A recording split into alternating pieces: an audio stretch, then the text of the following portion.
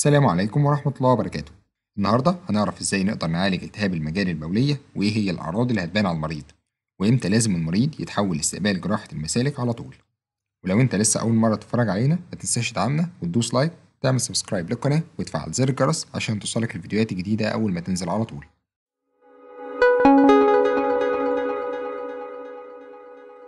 قبل ما نعرف العلاج عايزك تعرف إننا بنقسم ال UTI أو ال urinary tract infection لقسمين.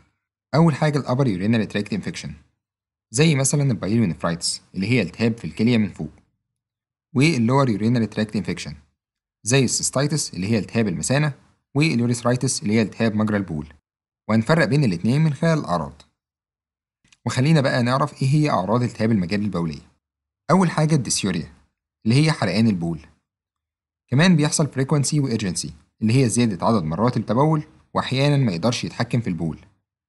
تالت حاجة ال hematuria أو وجود دم في البول. رابع حاجة وجود urethral discharge اللي هي إفرازات في مجرى البول. كل الأعراض اللي فاتت دي بتخص ال lower urinary tract infection ودي اللي بنعالجها في الصيدلية عادي. إنما بقى لو لقيت مع الأعراض دي وجود high grade fever ارتفاع في درجة الحرارة مع وجود loin pain اللي هو مكان الكليتين بيوجعوه وكمان dehydration اللي هو ممكن يدخل في مرحلة جفاف وفي بعض الحالات تلاقي عندها unexplained delirium. اللي هي تهيؤات وتخاريف وده بسبب ارتفاع درجة الحرارة. بالإضافة إلى إنك ممكن تلاقي nausea و vomiting اللي هي قيء وغثيان. وفي الحالة دي المريض بيكون عنده upper urinary tract infection ودي مش بنعالجها في الصيدلية وإنما بنحولها لاستقبال جراحة المسالك مباشرة. طيب إحنا عرفنا من الأعراض اللي عنده إنها urinary tract infection. إزاي أأكد ده؟ ده طبعا عن طريق التحاليل بنطلب منه أول حاجة تحليل بول والمفروض إننا هنلاقي في تحليل البول زيادة في ال pus cells اللي هي وجود صديد عالي في البول بالإضافة إلى إنك هتلاقي nitrites و leukocyte esterase وبرضه ممكن تلاقي hematuria اللي هي وجود دم في البول وبرضه ممكن تلاقي بروتين في البول. وخد بالك إنك تأكد على المريض لما يجي يعمل تحليل البول إنه ياخدها mid stream يعني في نص حمام البول. يعني يعمل حمام شوية وبعد كده يمسك نفسه وبعد كده ينزل جزء في علبة العيان. تاني حاجة بتطلبها منه مزرعة بول لكن دي في حالات معينة. زي ال immunosuppressed patient واللي هو الشخص عنده نقص في المناعة وال pregnant woman اللي هي تكون سيدة حامل و recurrent lower urinary tract infection ان هو الالتهاب بيتكرر معاه كتير وال old age اللي هو سنه كبير. وخد بالك ان الشخص بيعمل مزرعة البول وبتخليه ياخد مضاد حيوي على بال ما نتيجة المزرعة تطلع لأنها بتتأخر. خلينا بقى نروح لعلاج التهاب مجرى البول. أول حاجة بنديها للمريض وهي antibiotic أو مضاد حيوي. وهنقسمهم لثلاث أقسام. First line Second line Alternatives. هنبتدي أول حاجة بال first line أول مادة معانا وهي ال nitrofurantoin.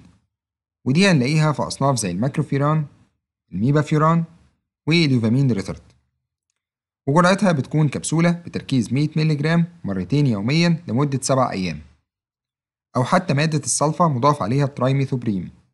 ودي هنلاقيها في أصناف زي السبترين والسبتازول فورت وجرعتها بتكون قرص كل 12 ساعة لمدة 5 أيام.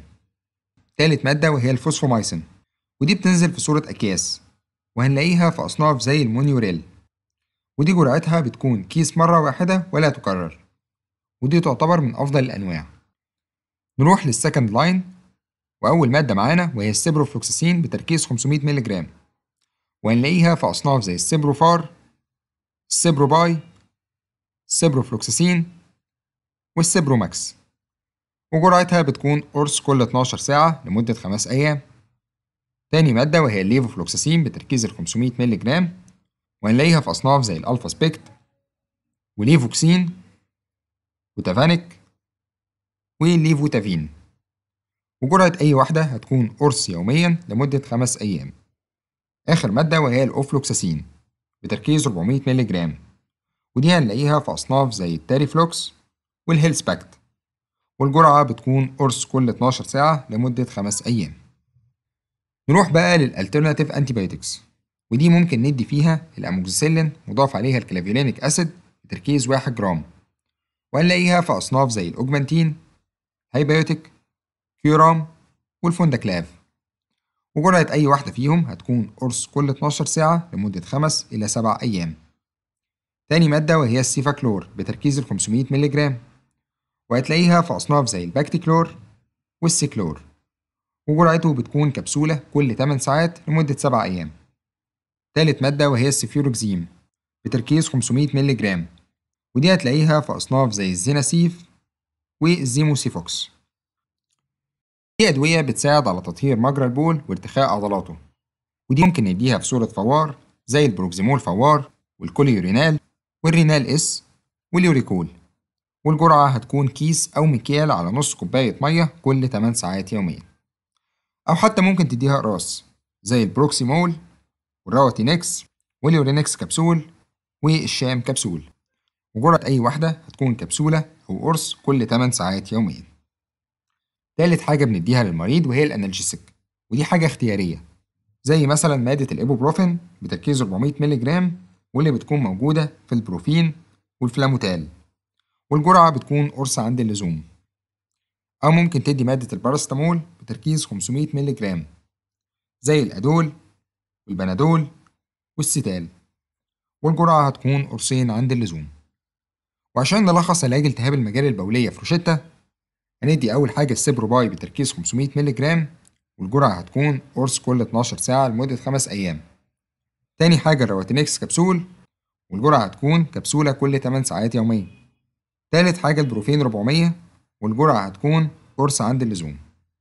وأهم حاجة تنصح المريض إنه يشرب مية كتير يعني ما بين 6 إلى 8 كوبايات يوميا. وكمان تنصحه بعدم حبسه للبول لفترات طويلة وإنه يتبول بشكل منتظم. في كام ملاحظة لازم تاخد بالك منها لما تيجي تعالج التهاب المجاري البولية. إنك لو لاحظت في تحليل البول وجود فطر الكانديدا ودي هتلاقيها أكتر في السيدات ومرضى السكر أو مرضى الإيدز أو حتى لو هو مركب قسطرة بولية. وفي الحالة دي بنضيف مع الروشتة مادة الفلوكونازول. ودي هنلاقيها في أصناف زي الفانجيكان فلوكورال والديفلوكان. والمفروض الجرعة في الحالة دي هتكون 200 مللي جرام أول مرة وبعد كده ياخد كبسولة بتركيز 100 مللي جرام يوميا لمدة 4 إلى 7 أيام. لكن للأسف مش موجود في مصر تركيز ال 100 مللي من مادة الفلوكونازول. عشان كده معظم الدكاترة بتوصف 150 مللي يوميا لمدة 4 إلى 7 أيام.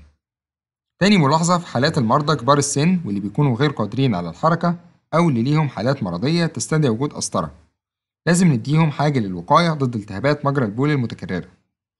وفي الحالة دي بنديهم اليوروفاكسم كبسول وده بيشتغل ك immune stimulant agent وجرعته بتكون كبسولة يوميا قبل الأكل لمدة 3 شهور متتابعة. وبكده نكون عرفنا كل حاجة تخص التهابات مجرى البول وعرفنا إيه هي الحالات اللي نقدر نتعامل معاها في الصيدلية وإيه الحالات اللي لازم نحولها لاستقبال الجراحة. وأتمنى تكونوا استفدتوا واستمتعتوا بالحلقة دي.